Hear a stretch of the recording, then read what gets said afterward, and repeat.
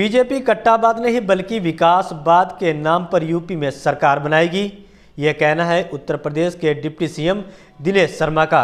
दिनेश शर्मा आज कटरा और तिलहर विधानसभा में प्रभावी मतदाता सम्मेलन में शामिल हुए थे।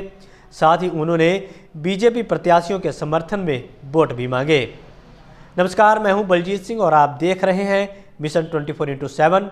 Bulletin की शुरुआत करेंगे हेडलाइन से और उसके बाद आपको दिखाएँगे दिन भर की सभी छोटी बड़ी खबरें फटाफट अंदाज में।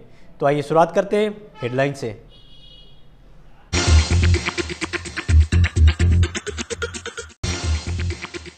उत्तर प्रदेश के डिप्टी सीएम दिनेश शर्मा शाहजहांपुर पहुँचे। कटरा में प्रभावी मतदाता संवाद में हुए शामिल। विपक्ष पर बोला करारा हमला, कहा अब यूपी में तमंचावादी नहीं, विकासवादी सरकार है।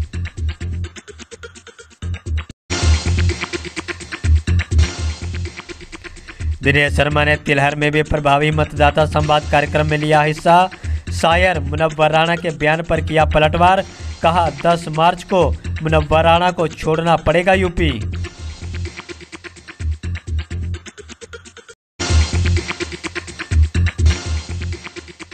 जिलाधिकारी उमेश प्रताप सिंह ने चुनाव प्रेक्षकों के साथ की बैठक। चुनाव की तैयारियों को लेकर की चर्चा। चुनाव के लिए बनाए गए हैं प्रेक्षक।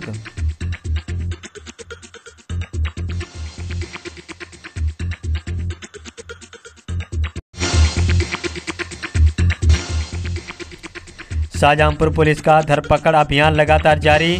बीते 24 घंटे में 40 अपराधियों को किया गिरफ़्तार। कच्ची शराब तमंची और ताश के पत्ते भी हुए बरामद।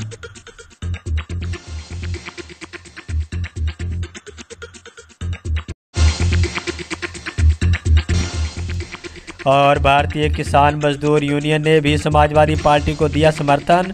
मीरानपुर कटरा में हुई बैठक के दौरान यूनियन के पदाधिकारियों ने लिया फैसला। कहा, सपा प्रत्याशी राजेश यादव को लड़ाएँगे चुनाव।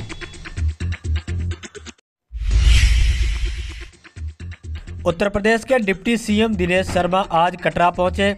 यहाँ वह प्रभावी मतदाता सम्मेलन में शामिल हुए। इसके अलावा उन्होंने डोर टू डोर जाकर बीजेपी के पक्ष में वोट मांगे। इस दौरान उन्होंने कहा कि हमारी सरकार तमंचावादी नहीं, बल्कि विकासवादी सरकार बनाएगी। कटरा में डिप्टी सीएम दिनेश शर्मा ने कहा कि सपा, बसपा, कांग्रेस ये सब आपस में मुकाबला कर रही हैं और नंबर दो पर आने के लिए जद्दोजहद कर रही हैं। भाजपा का किसी से कोई मुकाबला नहीं है। भाजपा इस बार पूर्ण बहुमत के साथ सरकार बनाएगी। उन्होंने ये भी कहा कि 10 मार्च को रिज़ल्ट आने के बाद विपक्षियों को असली जवाब मिल जाएगा। तिलहर विधानसभा में प्रभावी मतदाता संवाद कार्यक्रम में पहुँचे डिप्टी सीएम दिनेश शर्मा ने मुनव्वर राणा पर पलटवार किया है। दरअसल मुनव्वर राणा ने बयान दिया था कि अगर यूपी में बीजेपी की सरकार बनी और योगी आदित्यनाथ को यूपी का सीएम बनाया गया तो वह यूपी छोड़ देंगे। मुनव्वर राणा के इस बयान के बाद उत्तर प्रदेश के डिप्टी सीएम दिनेश शर्मा ने करारा जवाब दिया है। डिप्टी सीएम दिनेश शर्मा का कहना है कि 10 मार्च को उत्तर प्रदेश में बीजेपी की सरकार बन रही है, ऐसे में मुनव्वर राणा को यूपी छोड़ना होगा। शाहजहांपुर नगर विधानसभा से भाजपा प्रत्याशी सुरेश कुमार खन्ना ने डोर टू डोर जाकर जनसंपर्क किया।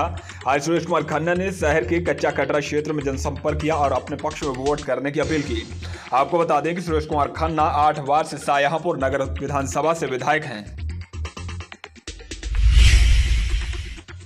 शाहजहांपुर में नियुक्त किए गए प्रेक्षकों के साथ जिलाधिकारी उमेश प्रताप सिंह ने एक बैठक की। बैठक में विधानसभा चुनाव की तैयारियों को लेकर अहम चर्चा की गई।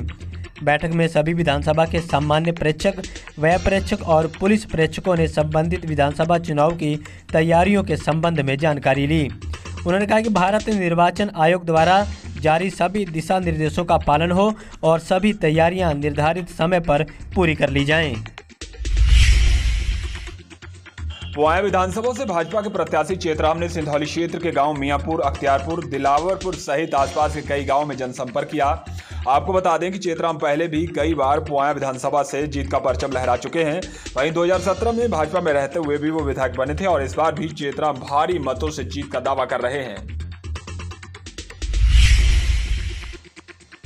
शाहजहांपुर पुलिस ने अपराधियों के खिलाफ ताबड़तोड़ कार्रवाई करते हुए बीते 24 घंटे में 40 अभियुक्तों को गिरफ़्तार किया है।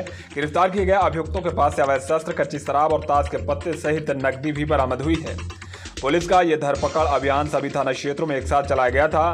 फ़िलहाल पुलिस ने कार्रवाई करते हुए सभी अभियुक्तों को जेल भेज दिया है। सायापुर की नगर विधानसभा से निर्दलीय प्रत्याशी अंशु पांडे ने शहर के मोहल्ला रेती में डोर टू डोर जनसंपर्क किया। इस दौरान अंशु पांडे ने अपने पक्ष में वोट करने की अपील की। आपको बता दें कि अंशु पांडे कांग्रेस से टिकट की मांग कर रहे थे।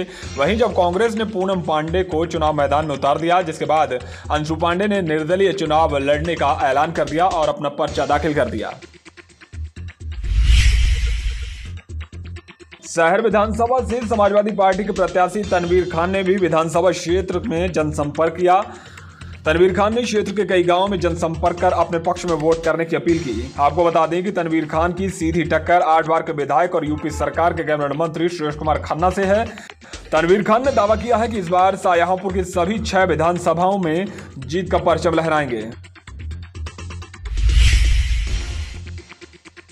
मीरानपुर कटरा के फीलनगर में भारतीय किसान मजदूर यूनियन की एक बैठक संपन्न हुई।